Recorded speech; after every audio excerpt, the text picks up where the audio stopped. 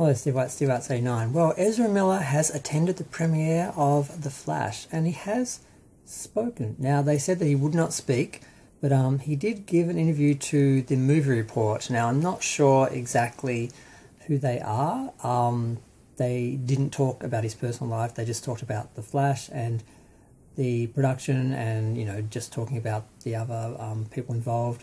Um, but he did actually speak to at least one um, I don't know if they're if they're media or if they are um, a website or what, but um, yeah. So there is video of him talking at the premiere about the film, um, but um, on the red carpet they just seem to be taking photos, you know, lining up, you know, the, the cast, the usual sort of stuff. But so far as Ezra goes, a lot of people are reporting about it, and um, I obviously he has mental health issues, and he was running amok um, for a while there. But um, did he do all the things he's accused of? I don't believe so. Um, a lot of homophobic people will absolutely um, witch hunt.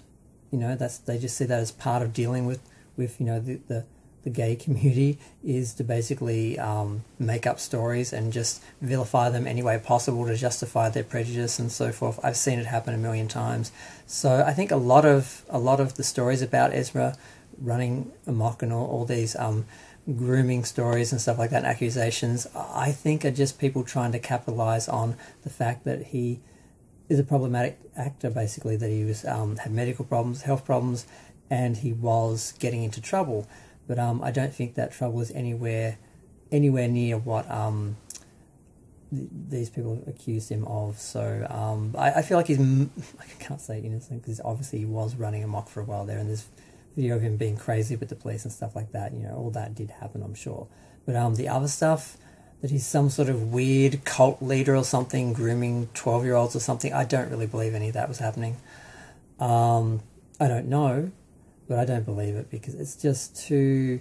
It's just too in line with all the propaganda and everything that's that's being you know vomited out about gay people and trans people and you know because he said they them um, they're just coming after I've been calling him him. I have. I, I've been calling them him the whole time. Wasn't deliberate. I just. It's hard to remember this stuff. Um, so yeah, and now for for for a villain because he's a hero, but yet um, he's sort of having these problems um, in the media um, and um, with the law. Um, I can't say his name. Um, Tenoch Huerta. I can't say his name. I can't pronounce it.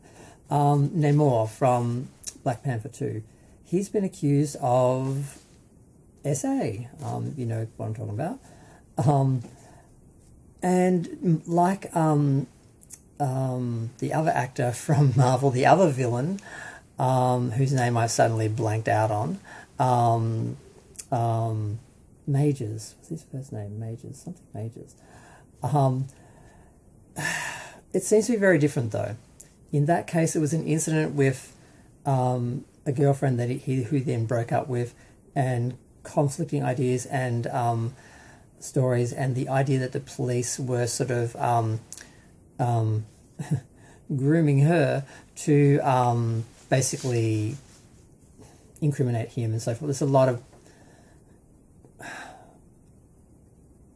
claiming of evidence and video and proof, and some of it really it's, it's just a mess. Whereas um, Jonathan Majors, I think his name is Jonathan Majors, but um, Namor is a little different, where it was a woman that he had dated, and the relationship had ended, and there was no reports during the the um, relationship of anything out of the ordinary, and, and they seemed fine. Um, and he seems to claim that he can prove through friends and, and, and public appearances that they had a healthy relationship. Then after they broke up, she started to attack him. Um, and he apparently was putting together a defense because she had been attacking him subtly in media and that, but she did eventually come out and make accusations against him. So I don't know about about Jonathan Majors. Um, it looks like he might not have done what he was accused of. Um, but there definitely was some some um, issues there with that relationship. There were problems. They may have been more on the side of um, the girlfriend, but um, it's unclear. Whereas um, definitely they did um, have a healthy relationship. It did end, um, and then all this happens. So it's a little bit of a different dynamic, um, and I'm not sure.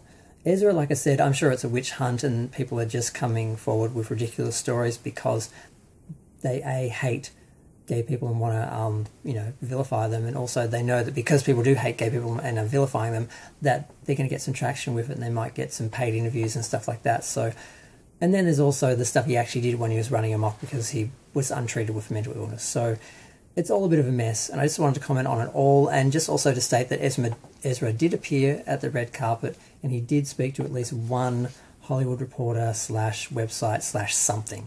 So the reports that he would not speak are not entirely true, but he didn't do like a general press, you know, conference where he just talked to anyone, everyone, and answered any and all questions because they just would have asked personal questions, which they didn't address. So I'm going to go.